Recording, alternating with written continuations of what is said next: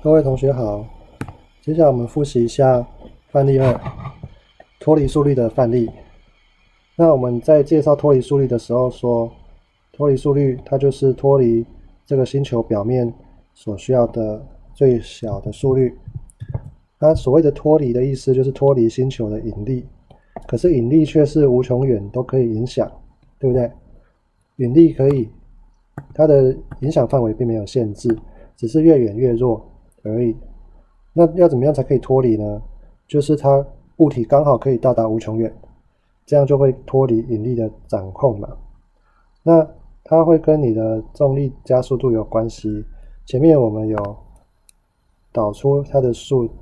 它的公式的脱离速率的公式就是根号的二 Gr，那这个 G 就是表面的重力加速度，星球表面的重力加速度。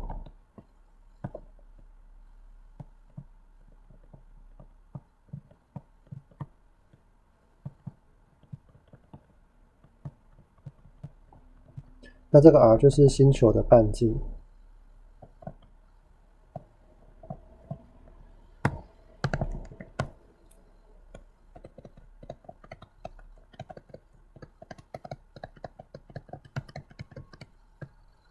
好，那么所以它其实会因为你的半径以及表面的重力加速度而有不同的脱离速率哦。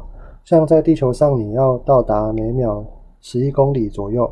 才可以脱离地球的掌控，但是如果是在月球上，可能就不需要那么快，就可以脱离月球的掌控。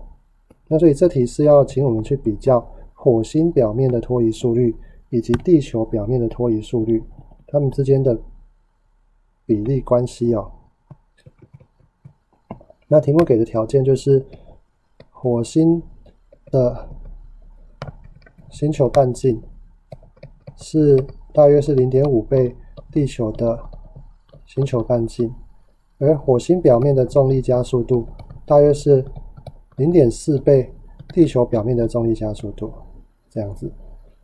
那么地球上的脱离速率，它就会是根号的二乘上地球的重力加速度，再乘上地球的半径。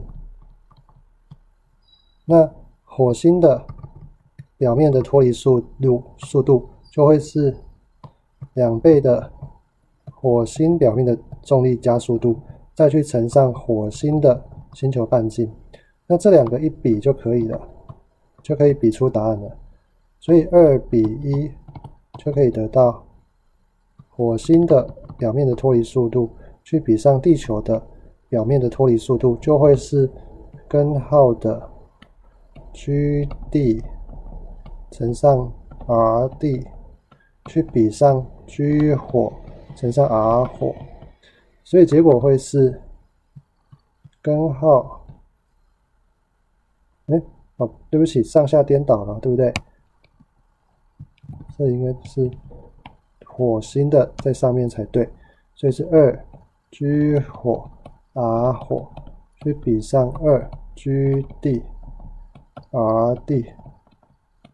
这样子，好，结果呢？火星的重力加速度比上地球的重力加速度是零点四，而火星的半径比上地球的半径是零点五，所以结果是根号的零点四乘零点五，所以是零点四乘零点五，那就是零点二，所以就是根号的零点二，根号五分之一，啊，这就是答案。所以如果说在地球表面，你的我们的脱离速率是十一十一点二公里每秒，这是在地球的。那你现在只要再把它乘上根号五分之一，那就是火星上的脱离速度。哦，达到这个速率的话，物体就可以脱离火星的掌控。